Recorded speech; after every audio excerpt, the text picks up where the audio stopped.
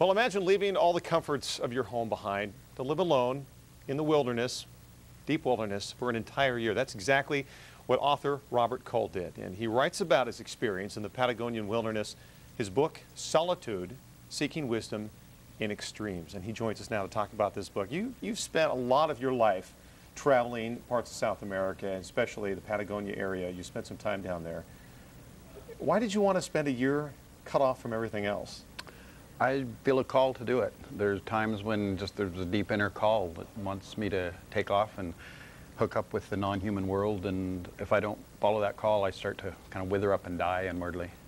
Did you, before you went on this venture, I mean, are you a type of person who spent a lot of time on his own, or are you a, a social person? Was it, was it a, a departure for you, or was it something you found it was easy to do? It's both. I spend a lot of time alone, and I also have deep relationships with people. So, While you're down there, do you find yourself missing out on, I mean, you're down, cut off from everything for a year. You find yourself missing out on, uh, once you got back, on some of the world events? I'm not cut off really. One of the reasons I go is to become more deeply connected.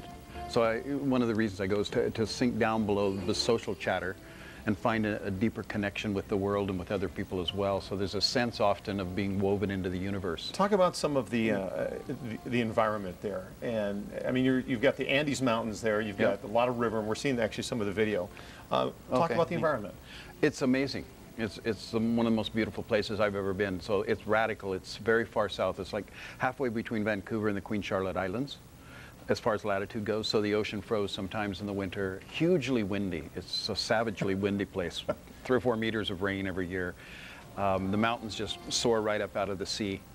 So it's it's got all that going on, and and uh, and there's nobody there for a year. I didn't see anybody. I saw people once that the, government came to look for me to make sure I would survive. I mean, you're fishing down there. Are you, are Yeah. you going out, like, are you hunting, gathering that? Or did you take some supplies down with you? or No, just- I, I took what I needed to survive because you, I'm never sure. Right. And, and so I. You gotta have a few medical supplies and a few Yeah. things in case you can't catch that fish or find berries. Exactly. Yeah. So I was fishing, but everything else I, I took with me, mostly rice and beans, dry stuff that I could survive. This is kind of an experiment for you. To, you talked about getting in tune with yourself. I mean, Mm-hmm. this is testing the the human body, but the human mind as well. What did what did you find? Well, one of the challenges, often when we read about or hear about somebody going off to live in the wilderness, it's man against nature.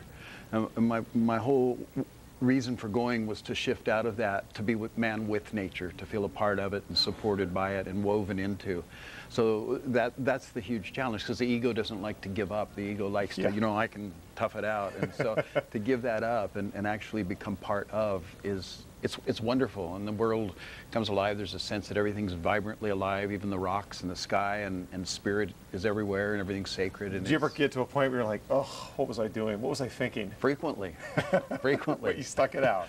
yeah because at those points when when there were definitely lots of times i thought i don't want to be here. But i've been enough places that i knew that when i feel that way i don't want to be anywhere so no matter where i would Right. be i'd have the same feeling i don't want to be here Well, it sounds like a fascinating book, especially with some of the, the video we saw of that. So it, uh, the book is Solitude, Seeking Wisdom in Extremes. Dr. Robert Kull, uh, we appreciate you coming in, and we want to let people know about where you can see Dr. Kull. It'll be uh, at Elliott Bay Bookstore tonight, 6 o'clock. Thank And you for i'll be showing slides and telling stories there Excellent. All right. Thanks for so much for coming in. you're welcome it's a pleasure thanks for inviting me That looks really good. Thanks a lot, Greg.